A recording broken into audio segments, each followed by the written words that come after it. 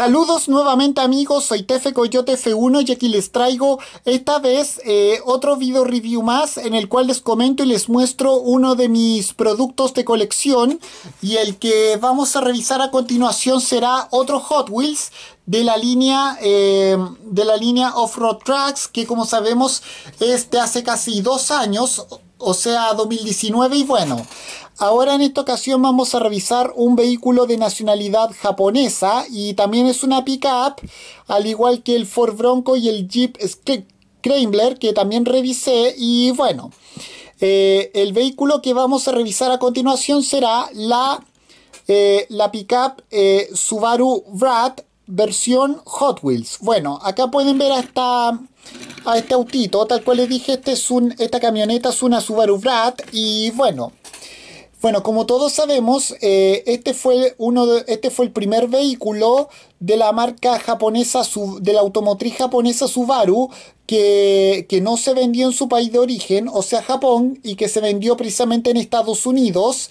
Eh, se creó precisamente para competir con otras automotrices de su nacionalidad en Estados Unidos como como eh, Mazda, eh, Nissan y Toyota. Recordemos que esta última Toyota a fin, en el año 2005 compró eh, la marca Subaru y, hasta el día de hoy sigue perteneciendo a Subaru. Bueno, como todos sabemos, se llama Brad en Estados Unidos y Canadá, pero tiene otros nombres en otros países. Por ejemplo, en Australia se llama Subaru Bramby. En, en, Reino Unido se llama 284 eh, y se llama, y en otros países tiene otros nombres, tales como Targa, MB y, y, otro más que, eh, a ver, si averiguamos acá en Wikipedia, espérenme. Eh, eh, se llama, a ver,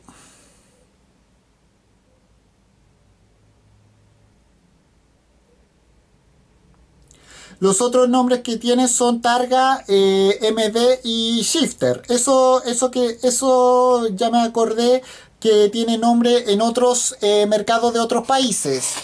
Eh, bueno, y además recordemos que eh, Subaru también perteneció, antes de pertenecer a Toyota, que es donde pertenece ahora, perteneció, como sabemos, a la estadounidense General Motors y, algunos de sus modelos fueron vendidos como Chevrolet en, otro, en otros países, por ejemplo en India, su modelo el Subaru Forester se vendió como Chevrolet Forester, por ejemplo.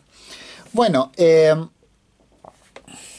bueno, eh, eso es lo que yo sé en cuanto a la historia de este modelo y además yo sé que también se fabricó entre los años 1978 eh, y 1994 y es un derivado del eh, modelo de sedán y station wagon Subaru Leone. Bueno, bueno, acá pueden verlo, podemos ver que el color que predomina en este vehículo es el color rojo.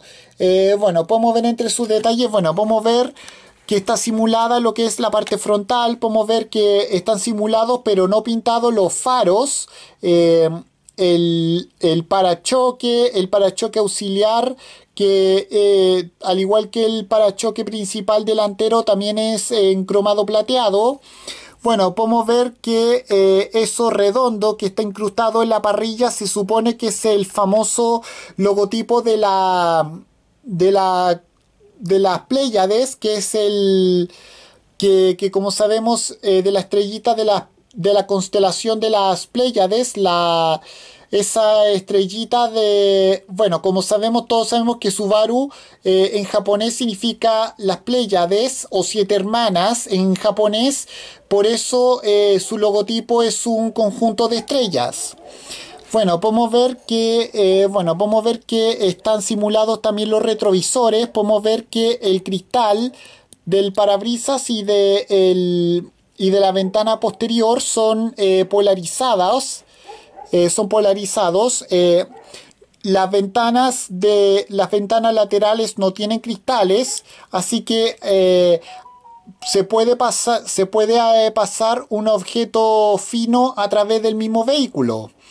Eh, bueno, podemos ver que están simuladas las puertas, así como también las chapas. Eh, podemos ver que están simulados, como yo ya dije, los retrovisores. bueno, están simuladas también, están simulados también los limpia parabrisas, el capó, las tomas de aire. Bueno, podemos ver que en el capó, bueno, podemos ver que tiene el número 200 como dorsal eh, eh, en el capó que eh, aparte de ser rojo como toda la carrocería es de color negro y amarillo. Y podemos ver el nombre Subaru situado debajo de el debajo del debajo del número. Y bueno podemos ver ahí eh, podemos ver que tiene el logotipo de Goodyear, que es una marca eh, fabricante de neumáticos estadounidense, muy famosa. Podemos ver ahí, bueno, podemos ver que tiene, eh, podemos ver que tiene unas líneas negras y amarillas atravesando la parte, la parte de abajo de la carrocería. en el cual se encuentra otro número 200. podemos ver ahí un logotipo que dice HWGRFX, que no tengo ni idea qué será. Podemos ver ahí el logotipo de, eh, del, fabricante de bujías eh, eh, del fabricante de bujías NGK.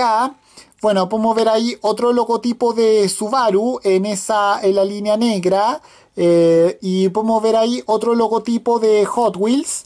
Bueno, podemos ver ahí eh, una salida de escape, un tubo de escape en cromado plateado. Eh, acá, bueno, podemos ver que eh, podemos ver que podemos ver que está simulada la barra antivuelco, así como también las luces auxiliares. Bueno, podemos ver que están simuladas las luces, pero no tienen pintura, así como también la puerta de la pickup, eh, el espacio de la placa patente o placa matrícula. Bueno, están simuladas también las puertas y no solamente la, la misma, sino que también la cerradura, las chapas. Hacia adentro se puede ver, se puede ver la sección interior, como por ejemplo los asientos, eh, el tablero de mandos, el tablero de instrumentos el, eh, y el volante. Podemos ver ahí que tiene dos asientos eh, que bueno, como sabemos, recordemos que como este modelo es importado, como este modelo es importado, de hecho, eh, Subaru eh, ideó poner en, este mismo modelo dos asientos eh, traseros que lamentablemente ven hacia la parte, hacia, hacia el sentido contrario del vehículo. Eso me recuerda, por ejemplo, a mí al Sundab Janus, que también tuvo esa, esa cualidad bastante extraña y mediocre. Y bueno, eh, de hecho, lamentablemente no está muy simulada, no está muy simulada la, la parte de la pickup, no está muy simulada, no está muy disimulada, eso quiero decir, no está muy disimulada la parte de la pickup, como ustedes pueden apreciar, y bueno, eh, descaradamente están al aire libre. Eh, bueno, con esto me inspiro en mi, colega mexicano youtuber Cars Latino. Bueno, podemos ver que bueno, las llantas son de color eh, negro y lo que son las gomas son en color café y podemos ver ahí y podemos ver ahí que está simulada la tapa del depósito de combustible y bueno y acá los mismos detalles de este otro lado bueno podemos ver que eh, las ruedas pueden pueden girar perfectamente y eso, y eso le permite al, al auto moverse libremente como ustedes pueden apreciar. Y bueno, para recomendarlo, se lo recomiendo 100% a todos los fanáticos de las camionetas pickup todoterreno, a los fanáticos de la marca Hot Wheels y de otras marcas de autitos a escala, también se los voy a recomendar 100%. Bueno, y además quiero decirles que este lo compré, eh, lo compré también en el, el Amirax Hobbies, eh, en el Mola Pumanque, eh, acá en Santiago de Chile, y también me costó 2000 y algo este modelo, y bueno, recordemos que habían otros modelos de la marca, de la línea Off-Road Tracks, que aparte de incluir este, el Subaru Brat y también el Jeep Scrambler y el y el Ford Bronco que ya también he revisado, eh, también incluía otras camionetas como eh, el... También incluía otros vehículos como el Baja Hauler o el, una versión todoterreno del Von Shaker, entre otros. Y otro vehículo más que no me acuerdo qué nombre tenía, pero bueno. Bueno, y y con esto cierro este video review. Eh, recuerden por favor cuando vean esto eh, comentar, eh, dar su me gusta, suscribirse, activar la campanita de las notificaciones y compartir cada uno de mis propios video reviews. Y con esto cierro este video. Soy Tefe Coyote F1. Adiós, fuera chao.